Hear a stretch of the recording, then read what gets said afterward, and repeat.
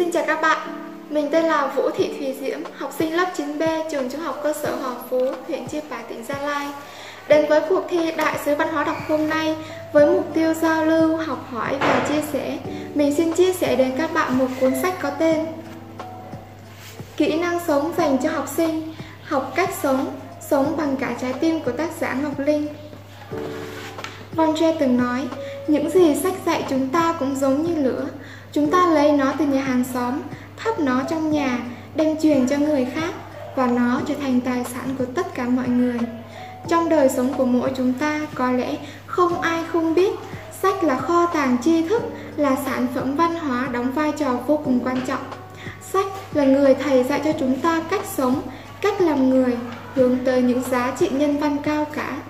Sách còn là người bạn gần gũi chia sẻ niềm vui, nỗi buồn của mỗi chúng ta.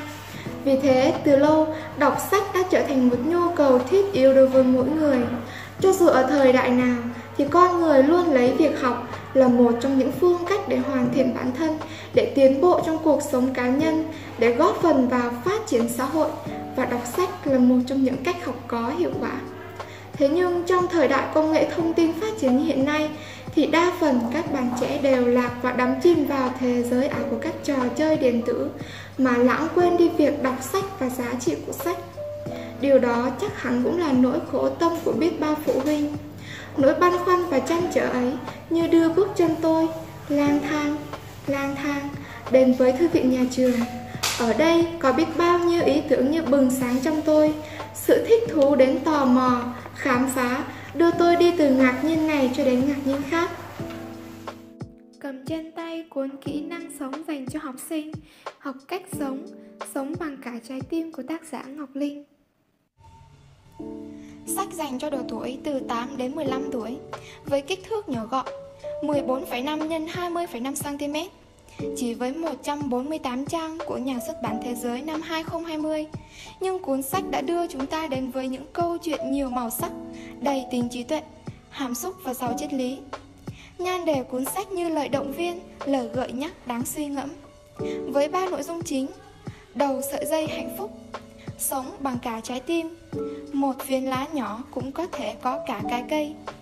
Quyển sách tập hợp hơn 42 mẫu chuyện nhỏ với những cung bậc cảm xúc khác nhau, với những mảnh đời khác nhau, nhưng đều có điểm chung, đó là rút ra một bài học có giá trị đến với người đọc. Các bạn nghĩ hạnh phúc là gì? Các bạn có cảm thấy rằng mình đã hạnh phúc chưa? Những câu hỏi gợi lên nhiều liên tưởng. Đến với trang 12 của cuốn sách, ta bắt gặp một câu chuyện Hạnh phúc khi biết thay đổi. Lúc đang lái xe ô tô thì tình cờ Tom nghe được lời bình luận của anh phát thanh viên về đoạn trích trong cuốn Kinh Thánh với lời kết luận. Yêu là một loại hành vi của ý chí. Con người có thể quyết định yêu hay không yêu. Lời bình luận ấy đã làm cho Tom nhận ra rằng Mình là một người chồng ích kỷ Và trong suốt kỳ nghỉ đó Tom đã thay đổi mình bằng những cử chỉ, hành động, những sự quan tâm và nhiều việc làm khác sự thay đổi đó đã làm cho Evelyn hạnh phúc đến ngạc nhiên. Ngay cả Tom cũng thấy hạnh phúc Và tự nhận ra rằng Mình đang bắt đầu sống. Elizabeth Hardwick từng nói Món quà tuyệt vời nhất chính là niềm đam mê với việc đọc sách. Nó rẻ, nó an ủi, nó làm sao lãng, kích thích Mang đến cho bạn những tri thức về thế giới Và trải nghiệm về những lĩnh vực khác nhau. Nó chính là sự khai sáng tinh thần.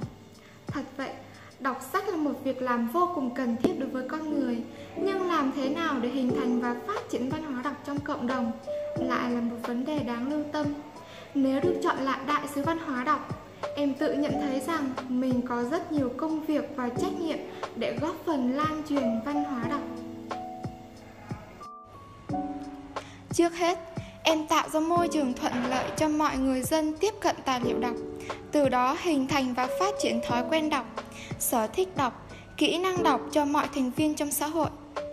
Tiếp đó là phát huy các giờ đọc trên lớp, như 15 phút đầu giờ, giữa giờ của một số buổi, để làm sao cho các bạn có hứng thú tiếp thu, kích thích nhu cầu tìm hiểu và đọc sách ở các bạn.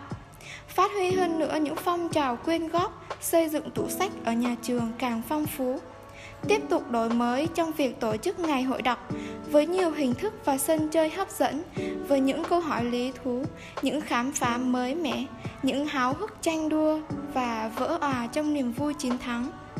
Tiếp nối chuỗi sự việc với hàng loạt những việc làm thiết thực như thành lập câu lạc bộ những người yêu sách, mở các buổi triển lãm, hội trợ sách giá rẻ hoặc tặng sách, tiếp tục quyên góp và xây, xây dựng quỹ tố sách ở những vùng dân tộc để các bạn có điều kiện tiếp cận sâu sắc hơn với việc đọc.